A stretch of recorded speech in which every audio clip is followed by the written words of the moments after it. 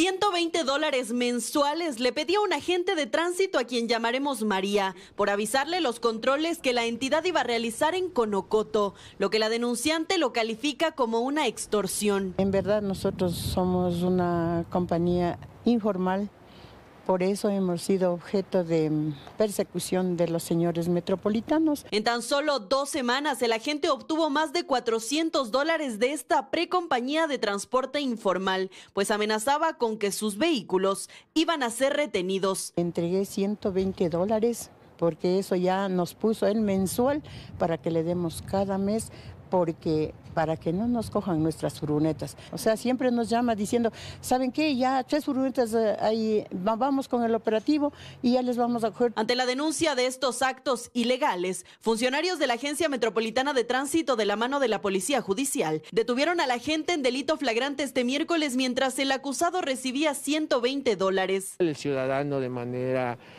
intempestiva, agresiva, quiere evitar que nosotros eh, nos acerquemos a él, lanza este, estos billetes, pero se tiene como cadena custodia los billetes, el teléfono celular de él y asimismo su uniforme porque él estaba de servicio. Hasta el momento la autoridad explica que se desconoce si el agente actuaba solo, pero investigarán el caso y analizarán si el funcionario implicado es desvinculado. El agente civil de tránsito en este momento se encuentra prendido por parte de Policía Judicial, está en una valoración médica. Posteriormente iremos a Fiscalía General del Estado para proponer la denuncia correspondiente e internamente como agencia vamos a iniciar las acciones eh, administrativas disciplinarias en contra del agente civil de tránsito. Vamos a verificar que en los días en los que suscitaron los hechos hayan estado programados los operativos y qué agentes estuvieron designados a dichos operativos. Mientras tanto, las autoridades hacen un llamado a la ciudadanía para que denuncie cualquier tipo de acto ilegal que tenga como objetivo el cobro o pago de dinero a cambio de evadir la ley.